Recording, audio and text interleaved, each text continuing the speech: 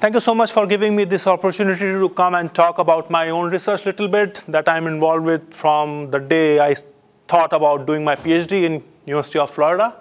And this controversy is pretty recent, and it is still a very important topic when it comes to using wood for making wood pallets and burning all those wood pallets somewhere in Europe and claiming that that saves a lot of carbon. So I will go into a little bit detail as we move forward in this presentation. And I'm thankful to Nate for inviting me for this talk. It is an honor to be here. So coming on to my second slide, which is Bioenergy 101. When I talk about wood pellet or wood pellets, there's a big difference, right? So question for all of you, which I'm talking, what out of these two things, what I'm talking about, the top one or the bottom one? That's perfectly right. So always remember I'm talking about wood pellets, not pallets, okay?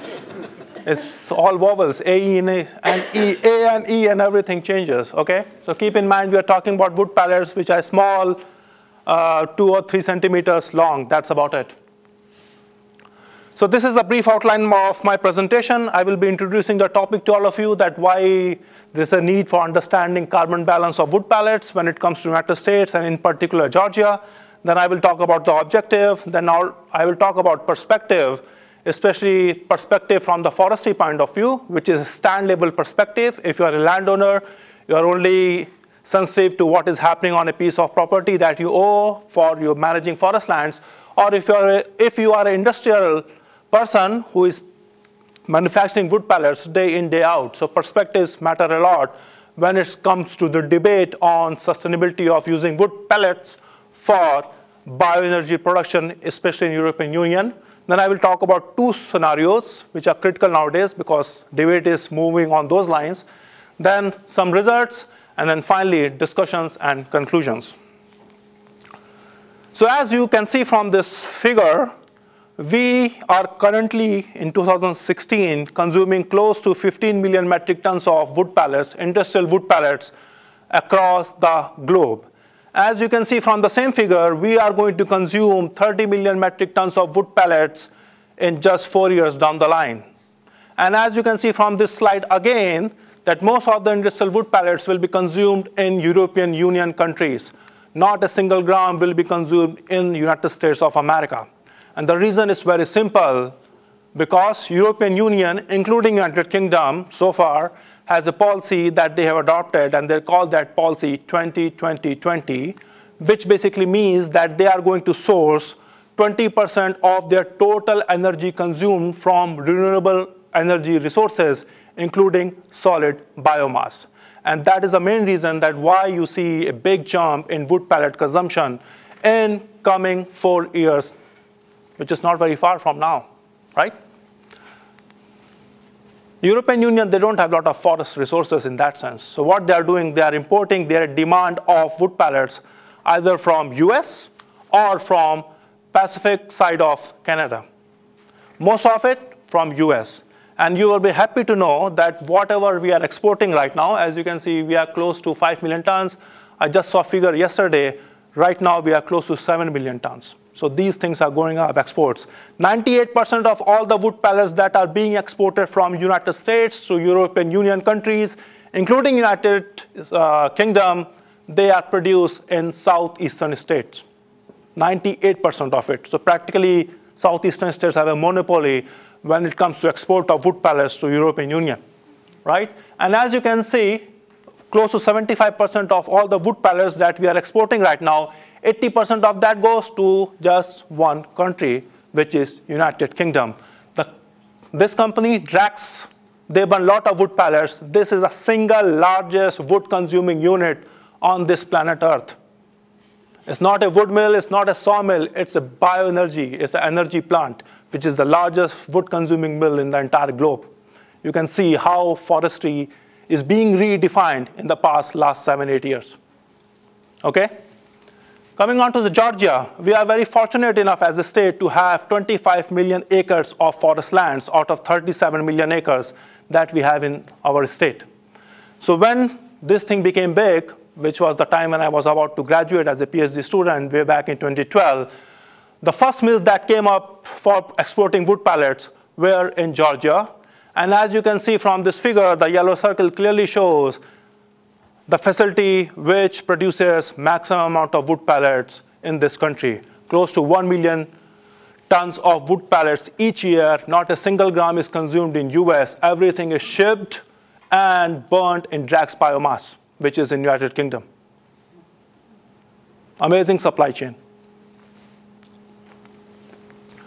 But if you are burning biomass, right, there is no problem of controversies.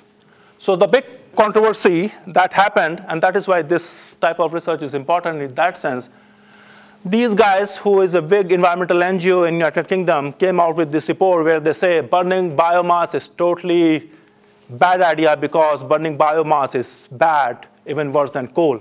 You produce more carbon emissions than electricity coming from coal. Genuine point. They have some reasons. Apart from that, after that, all the environmental NGOs, especially in the United States, they also picked up the same theme. NRDC, you name it, any Dogwood Alliance, they are totally against you. Uh, they are totally against using wood pellets for energy production. They think it is bad for everything, especially when it comes to forestry in this country. Perfectly fine. All opinions are welcome, especially in academics. But if you see, if you see peer-reviewed literature, and these are some of my own literature and my collaborators and some collaborators from outside too, outside, in a sense, North Carolina State University, especially Bob Abt. We are publishing from last six, seven years saying that no, that is not right. Bioenergy, use of wood pellets in United Kingdom, especially imported wood pellets from US South, saves at least 60 to 70% of carbon emissions with respect to a unit of electricity produced from coal in the United Kingdom itself, right? So basically, big controversy, we are right or they are right, nobody knows. So that is why I thought to do some research. And this is basically my objective, that first of all, to identify why there are two extreme views when it comes to use of wood pellets for bioenergy production. One people, one, you know, one set of people are saying that, oh, it's totally bankrupt idea. We are ruining climate change mitigation targets. We are producing more carbon emissions than carbon emissions coming from burning coal. But at the same time, people like us are telling, no, that is not true to a large extent. You save at least 60 to 70% of carbon emissions if you are using wood pellets. So the idea was to find out why these two, why we have two different views and how we can come onto a consensus based on pure science, no political viewpoints in that sense. So that is why I thought to do this research, and still I'm doing quite a bit of it. So coming on to the perspective, stand versus landscape. This is super important because if you are a landowner, you don't care about what is happening about landscape. Basically, you are more interested in all those things that you see in yellow here, right? There's a stand level structure per acre basis. But if you are an industry where you have to source enough wood to make whatever you want to make, you are more concentrated about landscape and landscape sustainability in terms of having sufficient wood to produce whatever you want to produce every passing year, right? Simple to understand. So let us give an example where I will definitely prove you based on science that burning biomass is bad from carbon perspective. So let us see, let us say in United Kingdom you are going to produce 1000 kilowatt hour of electricity just by burning wood pellets, which are being produced and imported from US South, right? Which means that you, know, you need 622 kgs of wood pellets to produce 1000 kilowatt hour of electricity. Perfectly fine. Wood pellets are basically 50% carbon, so if you uh, burn any piece of wood, carbon which is embedded in that wood will go away into the atmosphere, right? If you account for those emissions, in technical terms, we call those emissions as biogenic carbon emissions, your carbon emissions uh, come out to be 1,085 grams of CO2 per kilowatt hour of electricity generated in United Kingdom. At the same time, you are also incurring non-biogenic carbon emissions, related to all the manufacturing emissions that go in producing wood pallets, then all transporting all those wood pallets from south all the way to United Kingdom and whatnot. So their value is close to 200 grams of CO2 per kilowatt hour of electricity. You add these two numbers and you get a number which is 1275 grams of CO2 per kilowatt hour of electricity generated in the United Kingdom. Compare that number with coal-based electricity and you will, will definitely say, oh boy, wood pellets are worse than coal by 21%. Right? But, and it's a big but, things are very different if you're taking a uh, landscape perspective. For example, the way industry operates, no industry on this planet Earth operates every 25 years. They need wood every year in order to manufacture wood pellets to supply and to commit to their contracts, right? So just to give an example, if you are in year one, you harvested a stand which is 25 year old to get sufficient amount of wood pallets, then you again replanted it immediately. So in year two, that stand will become year one. But all the stands which were little one year less, they have grown, uh, grown up by one more year. And they have, uh, for example, the stand which was 24 year old in year one, now that is 25 year old in year two, right? Then you harvest this stand. Then year three, the, you are going to harvest a stand which is 24 year old in year two or 23 year old in year one, right? So it's a kind of continuous forestry where you have sufficient stand age classes in your landscape so as to make sure that you have a 25-year-old or you have sufficient wood from a 25-year-old plantation the way you want so that you are not running out of wood and especially after spending $300 million to put a wood pellet mill, you definitely don't want to run out of wood, right?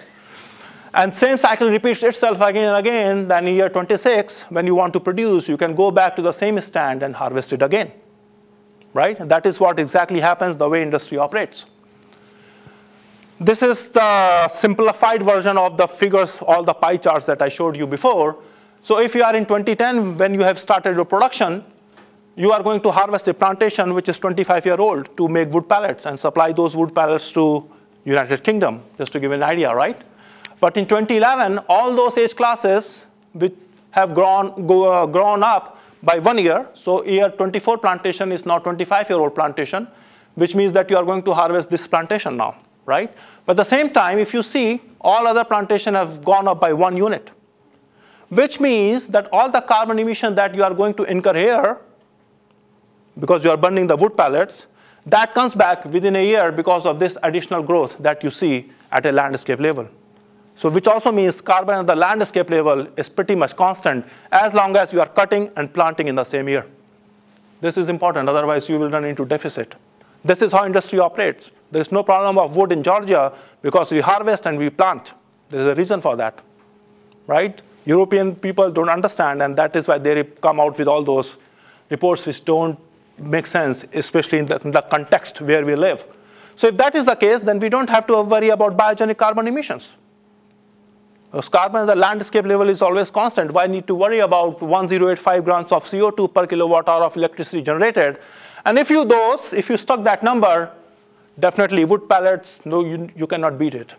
Especially when it comes, if you are comparing those numbers with a unit of electricity coming out of coal in United Kingdom, you save close to 80% of carbon emissions, right? So in just five and six slides, depending upon what perspective you change, the story changes completely right? Now, coming on the scenarios, and this is, now I'm, now I'm changing perspective, I'm more into counterfactual. Now there is a big, so I have done all these analyses, um, this paper is already published, these two I'm doing right now, hopefully after going from there I will start writing as soon as possible actually. So this is the counterfactual which is ENGOs are promoting quite a bit, especially from European Union side that you are going to save more carbon if you leave logging residues on the field instead of taking those logging residues, making wood pallets out of them, and then burning those wood pallets in United Kingdom. And logging residues, as you can see from here, they are nothing but tops and limbs of trees, which are practically not utilized as of now, but thanks to bioenergy, people can collect 70% of them economically to produce wood pallets, right? But the argument is that don't touch logging residues, leave them as, as such in the field, you are going to save more carbon over time relative to taking them and making wood pallets and burning those wood pallets, right? So I did that analysis to find out what is true and what is not true depending upon what logic you take. So what I'm finding, if you take either of these perspective, landscape perspective or stand level perspective, you are going to save lot of carbon and this, these savings increase as the time increases. And eventually, I did not expect when I was doing this analysis, eventually what will happen over 100 years of time, your savings from the stand view perspective and also from landscape perspective will start to converge, which is how forestry operates. Right? So the argument that leave logging residues as such, you will save more carbon over time is not true because if you use those same logging residues for bioenergy, you are going to save more carbon with respect to a unit of electricity coming from natural gas. Second logic is also very simple, and don't, you know, I know savings are substantially higher than anybody can expect. But these logging residues are those residues which are generated when a new Walmart is built. What they do, they cut it down and burn it in a bioenergy furnace. But the idea is that, again, leave them as such somewhere in the landfill and you are going to save more carbon. But again, my analysis says that that is not true. If you leave those carbon or uh, logging residues in a landfill, you are going to emit methane, which is, every, I think everybody knows, that is 21 times more harmful than carbon dioxide. So if you take methane into account and do all the calculations, you are going to save close to 1800% of carbon emissions with respect to natural gas. So long story short, it is all about perspective and it is all about counterfactual. You have to be very careful about what are your assumptions because based on those, things will change quite a bit actually. And coming on to Georgia, I thought to tell you something about Georgia. We have a very solid forest industry, especially in the state of Georgia. We support close to 150,000 jobs, and those jobs are increasing thanks to all the wood pellet mills which are coming to Georgia. We produce a turnover of close to $30 billion each year. We contribute close to $1 billion tax revenue to the state. Big industry. Every seventh person in the state of Georgia is employed in forestry, including me. and coming on to sustainability of forestry resources in Georgia, as you can see, net growth is higher than net removals. So in terms of sustainability, we are not doing deforestation. In fact, our forested areas are going up. Our volume in forest areas is also going up, right? And this is a small lab that I run from School of Forestry. I have some students. Two of them are presenting posters today. I will encourage you to go and check them out. They are nice, doing really uh, good work. And these are my contact information. Please free to touch base with me whenever you are. Thank you so much.